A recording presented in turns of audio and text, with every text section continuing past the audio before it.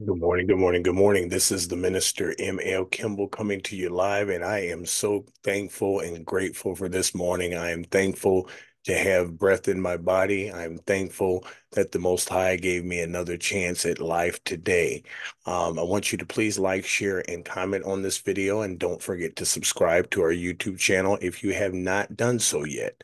Uh, this is going to be a very quick video, but this is going to give enlighten you on some of the things that were told to us that is proved to be lies. Yes, that's correct. The story of evolution is a complete lie, and I have evidential proof of why this was removed from the scriptures, and it was also removed from evidence of, of, of what they taught us in school. And so school came up with this scamified story called evolution that does not exist, and there is evidence that the Most High was the one who changed humans into both apes and elephants. And so we're going to take a look at the scriptures today. And the first thing we're going to do is look at the book of Jasher. And we're going to look at this because it is mentioned in your scriptures twice, but we just kind of skate past it like it doesn't exist. So we're going to look at the 66 books first and take a look at where Jasher is mentioned, just so you guys can see the validity of the book of Jasher and why you need to take a look at it. So the first thing I'm going to do is share my screen. Um, once I do that, then we should be able to get rocking here. All right, let's see here. The first thing we're going to do is we are going to go to the book of Joshua, um, chapter number 10, verse 13. So the book of Joshua, chapter number 10, verse 13. Uh, verse 13 says, And the sun stood still, and the moon stayed until the people had avenged themselves upon their enemies. Is not this written in the Sefer of Jasher? So the sun stood still in the midst of heaven and hastened not to come out about a whole day. So that's the first time the book of Jasher is mentioned in your scriptures. Now there is another time it is mentioned in Second Samuel, and we're going to go there real quick so you guys can see this because I don't want you to think I'm giving you something that you can't look up yourself.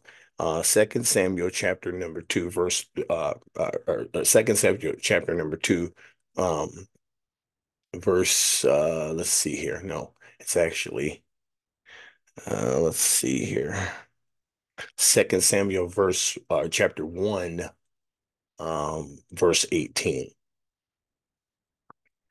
And so then you see here, uh, verse 18 in your 66 book says, Also he bade them teach the children of Judah the use of the bow Behold, it is written in the Sefer of Jasher. So once again, we see the importance of why the book of Jasher is important. Now let's take a look at why they took it out. These are evidential factual proof of why the Catholic Church removed certain books so that you would doubt the Most High and his power. You would doubt what he uh, can do and what he's able to do. And so we're going to look at something today that I want you guys to really, really take a look at.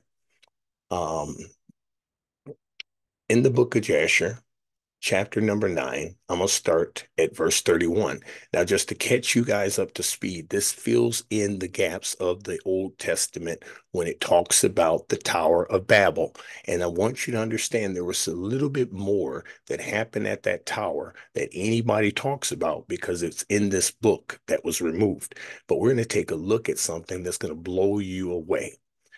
Verse 31 says, And they built the tower and the city, and they did this thing daily until many days and years were elapsed.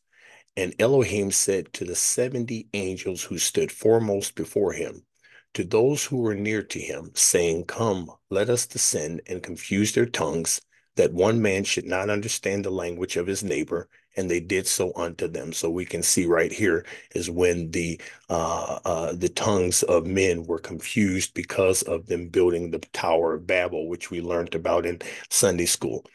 And from that day following, they forgot each man his neighbor's tongue, and they could not understand to speak in one tongue. And when the builder took from the hands of his neighbor lime or stone, which he did not order, the builder would cast it away and throw it upon his neighbor, that he would die. And they did so many days, and they killed many of them in this manner. And Yahuah smote the three divisions that were there, and he punished them according to their works and designs. Those who said, We will ascend to heaven and serve our gods, became like apes and elephants. So I want you to understand they scamified and turned that story around and said that we came from um, apes. But the truth of the matter is, the Most High changed humans into apes and elephants as a form of punishment because of the Tower of Babel. But nobody talks about this information because guess what? They removed it from the scripture. Now let's take a look at the similarities between the uh, the the uh, the elephant and the human. Seven similarities between elephants and humans.